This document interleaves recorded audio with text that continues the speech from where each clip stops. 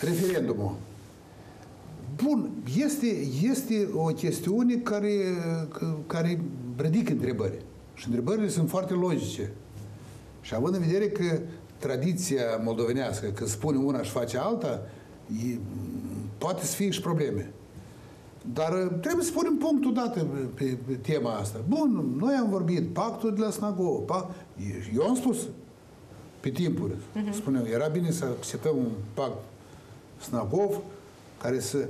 Dar pactul Snagov în România a fost unul. A arătat voința politică a, a României. Uh-huh. Și au participat toate partidele, indiferent de culoare și mai departe. Mm. Noi ne-am pornit cu ideea, dar am ajuns acolo unde am ajuns. 13 sau 12 partide au semnat.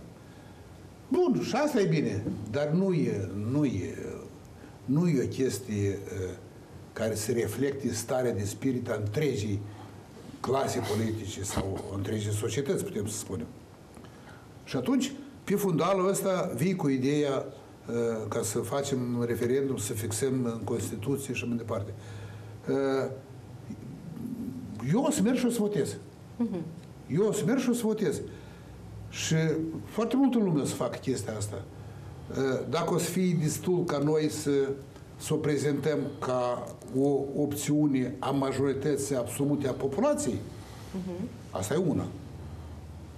Dacă uh, pragul scăzut de 30% obligatoriu ca să te prezinți la un referendum constituțional uh-huh. și ca să fie pozitiv trebuie să ai cel puțin 50%, înseamnă că vreo 17.000 de, de voturi pentru.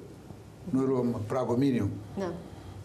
Păi dacă, dacă, dacă asta o să fie rezultatul și asta o să încercăm să-l prezentăm ca victorie, atunci vai de capul nostru. Și vai de, de integrarea asta, înțelegeți?